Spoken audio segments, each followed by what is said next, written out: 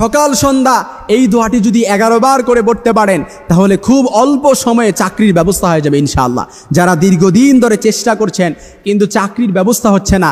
আবু হরায়রা রাদি আল্লাহ তালন থেকে বর্ণিত মুসলিমের বর্ণনা হাদিসটি এসেছে, হাদিসের মধ্যে এই দোয়াটি ব্যর্থতার দোয়া নামে এসেছে। অর্থাৎ ব্যর্থ সময়ে আপনি যদি এই দোয়াটি বেশি বেশি করে পড়তে পারেন, আল্লাহ তালা খুব অল্প সময়ে আপনাকে সফলতার পথ দেখাবেন, সফলতার মুখ দেখাবেন ইনশাআল্লাহ আজিজ। শুধু তাই নয়, আমি যদি লম্বাভাবে আরও খুব সুন্দরভাবে বলি, আবু হরায়রা রাদি আল্লাহ তালানহু বলেন, রাসূলুল্লাহ বলেছেন, শক্তিশালী মৌমেন আল্লাহর কাছে দুর্বল মৌমিনের চেয়ে বেশি প্রিয়, বেশি ভালো। সকল মৌমিনের মধ্যেই কল্যাণ রয়েছে।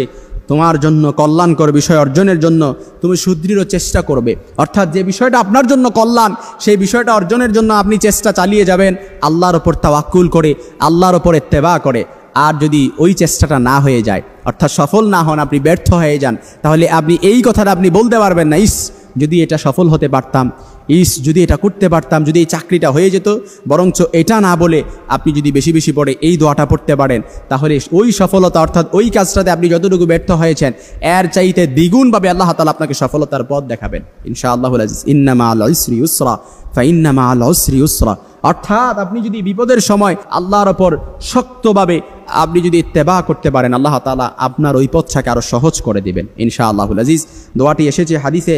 রসুল সাল্লাহ আলী হাসাল্লাম খুব সুন্দরভাবে বলেছেন, কদারুল্লাহি ওয়ামা শাহ আফালা এই দোয়াটি আপনি আল্লাহর কাছে বলবেন, বেশি বেশি করে। কদারুল্লাহি ওয়ামা শাহ আফালা কদারুল্লাহি ওয়ামা শাহ আফা আলা কোনো মমিন যদি সকাল এবং সন্ধ্যায় এগারো বার করে এই দোয়াটি পড়ে, আর মনে মনে যেটা আছে ওই কল্যাণ, কল্যাণের জন্য আল্লাহর কাছে দোয়া করে আল্লাহ তালা সহজ করে দিবে। আপনি আল্লাহর কাছে বলছেন, আয় আল্লাহ!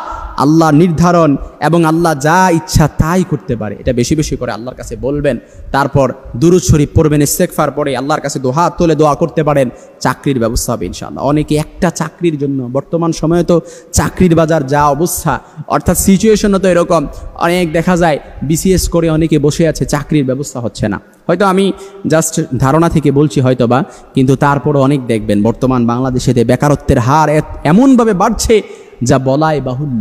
এই জন্য প্রিয় ভাই আমার, আপনি যদি এই দোয়াটি, তবে শর্ত হচ্ছে, আমি আপনাদেরকে শুধুমাত্র যে আপনাদের খুশির খোরাক দিয়েছি কিংবা আপনাদেরকে সময় নষ্ট করেছি, বিষয়টা এরকম নয়। জাস্ট আপনাদের উপকারের জন্য আমি বলেছি, আপনারাও যদি আল্লাহর ওপর এত্তেবা করে অমাইয়া তাওয়াক্কাল আল্লাহি ফাহুয়া হাসবু ইন্নআল্লাহ বালিগ আমরিহি। আল্লাহর ওপর পরিপূর্ণ বিশ্বাস আর আস্থা রেখে যদি পড়তে পারেন, দেখবেন আল্লাহ তালা চাকরির ব্যবস্থা করে দিছে। যত কঠিন হোক না কেন, চাকরির ব্যবস্থা করে দিছে। আপনি এমন অনেক আছে, অনেক বছর ধরে চাকরির জন্য ট্রাই করছেন, অ্যাপ্লাই করছেন, হয়তো চাকরির জন্য অ্যাপ্লাই করতে করতে অনেক টাকা খরচ হয়ে গেছে, কিছু করার নাই।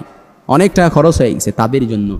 আল্লাহর ওপর ইত্তেবা করেন। আমাইয়া তাওয়াক্কাল আল্লাহ ফাহুয়া হাসবু। ইন্নাল্লাহ বালিগু আমরি। এটা আল্লাহ তালার কথা। যে ব্যক্তি আল্লাহর ওপর পরিপূর্ণ তাওয়াক্কুল রেখে, বিশ্বাস রেখে আল্লাহ তাআলার কাছে দোয়া করে, আল্লাহ তাআলা ইত্তেবা করে, আল্লাহ তাআলার, আল্লাহ তালার উপর ভরসা করে, ইন্নাল্লাহ বালিগু আমরিহি, আল্লাহ তাআলা তার পথ সহজ করে দেন, তার উদ্দেশ্য পূর্ণ করে দেন, ইন্নাল্লাহ বালিগু আমরিহি, আল্লাহ তালা তার দোয়াগুলো কবুল করেন। এই জন্য আপনি প্রত্যেক দিন সকাল এবং সন্ধ্যা, ফজর এবং মাগরিবের পরে এই দোয়াটি এগারো পর পড়বেন। কাদারুল্লাহি ওমা আফা আলা আয় আল্লাহ, আল্লাহর নির্ধারণ, আল্লাহ যা ইচ্ছা তাই করতে পারে। আল্লাহ, আপনি যা ইচ্ছা, আপনি চাইলে আমার চাকরি দিতে পারেন, চাইলে চাকরির ব্যবস্থা করতে পারেন, রিজিকের ব্যবস্থা করতে পারেন। আয় আল্লাহ, রিজিকের উত্তম কল্যাণ আপনি চাইলে দান করতে পারেন। আবার আপনি চাইলে কোনো কিছু না চাই, কোনো কিছুই সম্ভব না। এই জন্য আল্লাহর কাছে যদি সব কিছু আপনি শেয়ার করতে পারেন, আল্লাহ তালা ব্যবস্থা করে দেবেন, ইনশাআল্লাহ।